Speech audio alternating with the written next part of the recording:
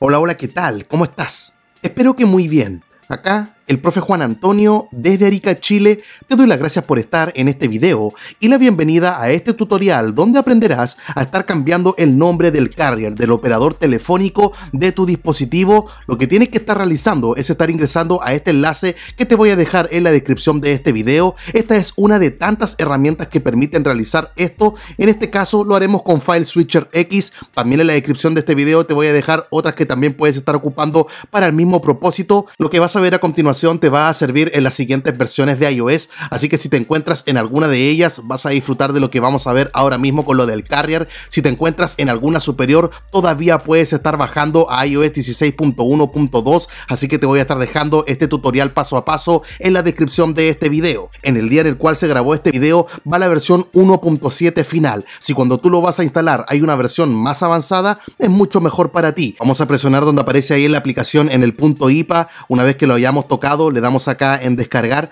vamos abajo acá en la flechita para estar viendo las descargas de Safari y ahí lo vamos a tener, vamos a tocarlo y ya sabes que si te encuentras en alguna de estas versiones de iOS puedes estar instalando esta aplicación sin la necesidad de un computador gracias a Trollstore. Así que tocamos arriba a la derecha allí en el botón de compartir y acá va a estar la opción para estarlo instalando desde Trollstore, lo vamos a estar tocando allí, se va a abrir esta ventana de confirmación, vamos a tocar acá en instalar y esperamos a que lo realice. Ahora si tu dispositivo no es compatible Control Store, lo que tienes que realizar ahora es estar ingresando a tu computador con Windows o Mac OS y estar descargando este mismo archivo, el punto IPA. Lo vamos a estar presionando una vez que lo tengamos. Si es que tu antivirus te llega a detectar algo, no te preocupes, lo puedes desactivar para estar bajando este archivo punto IPA que es totalmente seguro. Luego ya sabes que tienes que estar instalando este archivo en el dispositivo. Puedes estar ocupando la herramienta de Alstore para estarlo consiguiendo, al igual que la de 3 utools o la de SideLoadly. Yo en este caso voy a ocupar esta última. Ya sabes que tienes que tener instalado en tu computador la última versión de iTunes y no tiene que ser la que se descarga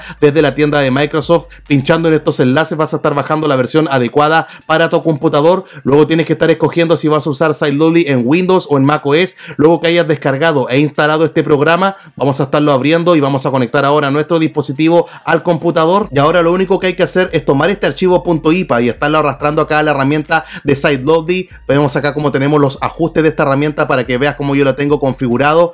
Simplemente hay que tocar acá en el botón de Start y venimos acá a las flechitas para estar viendo todo el progreso de la instalación de esta herramienta. Una vez que termine, va a estar apareciendo acá el mensaje de Dan. Eso significa que ya estamos listos para continuar en el dispositivo. Recuerda que si te encuentras en iOS 16, tienes que estar activando el modo desarrollador como te muestra en este tutorial. Si no lo haces, no vas a poder estar abriendo la aplicación que acabas de instalar. Así que tienes que estarlo activando y luego sigue con los pasos de este video. Lo que vamos a hacer a continuación es dirigirnos acá al icono de las configuraciones de iOS, vamos a estar allí ingresando, vamos a bajar hasta donde dice acá en general, luego vamos al final donde dice en administrador de dispositivos y VPN y ahí se va a encontrar el correo electrónico que utilizamos recién para estar instalando este archivo .ipa utilizando SiteLoadly y a continuación estando conectados al Wi-Fi o a los datos móviles, lo que vamos a estar realizando es presionar acá en el botón de confiar y le damos otra vez acá en confiar. Y ahora podemos regresar a la pantalla de inicio para estar ocupando esta aplicación con toda normalidad. Ahora la vamos a estar abriendo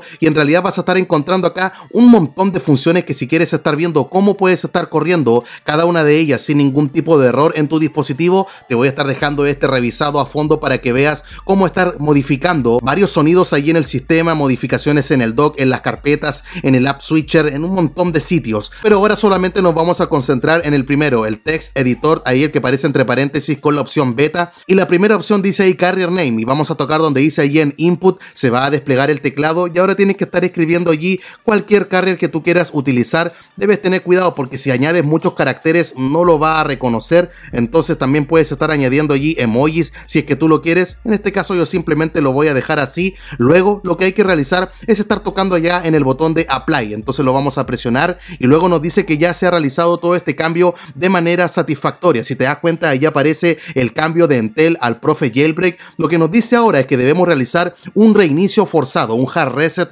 de nuestro dispositivo. Eso significa que hay que apagarlo y encenderlo. Así que tocamos acá en OK y lo que vamos a hacer a continuación es tal como nos dice el creador de esta herramienta, estarlo apagando y encendiendo.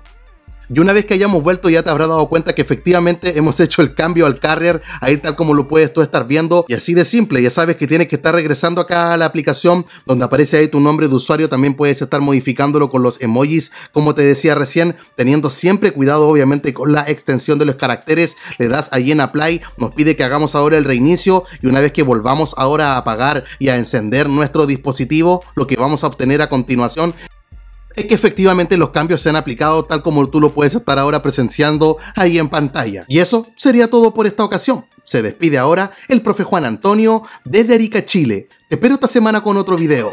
Chao, chao.